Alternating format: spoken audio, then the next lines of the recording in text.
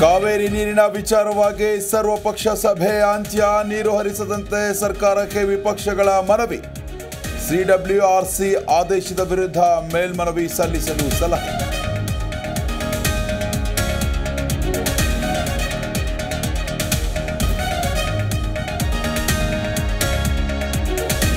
ಒಂದು ಟಿಎಂಸಿ ಬದಲು ನಿತ್ಯ ಎಂಟು ಸಾವಿರ ಕ್ಯೂಸೆಕ್ ನೀರು. ಮಳೆ ಬರದಿದ್ರೆ ಕಡಿಮೆ ಮಾಡೋ ಬಗ್ಗೆ ಸಿಡಬ್ಲ್ಯೂಎಂಎಗೆ ಮೇಲ್ಮನವಿ.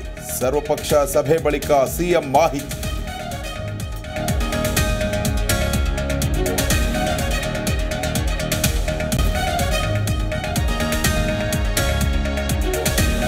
ತಮಿಳುನಾಡಲ್ಲಿ ಇಂಡಿ ಒಕ್ಕೂಟದ ಸರ್ಕಾರ ಇದೆ, ಅವರನ್ನ ಕಾಂಗ್ರೆಸ್ ಸರ್ಕಾರ ಮನವೊಲಿಸಲಿ. ಆಗ ಕೇಂದ್ರವೂ ಬೇಡ, ಸುಪ್ರೀಂ ಕೋರ್ಟು ಬೇಡ ಎಂದ ಕೇಸರಿ ಪಡೆ.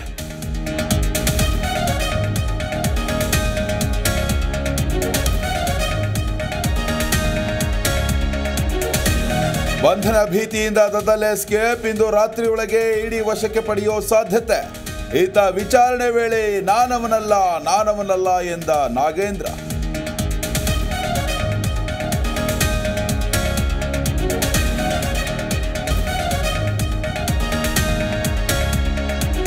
ಜೋಗ್ ಫಾಲ್ಸ್ ನೋಡಲು ಹರಿದು ಬಂದ ಜನಸಾಗರ ಮೂವತ್ತು ಸಾವಿರಕ್ಕೂ ಅಧಿಕ ಪ್ರವಾಸಿಗರಿಂದ ಜೋಗ ವೀಕ್ಷಣೆ. ಟ್ರಾಫಿಕ್ ಕ್ಲಿಯರ್ಗೆ ಪೊಲೀಸರ ಹರಸಾಹಸ.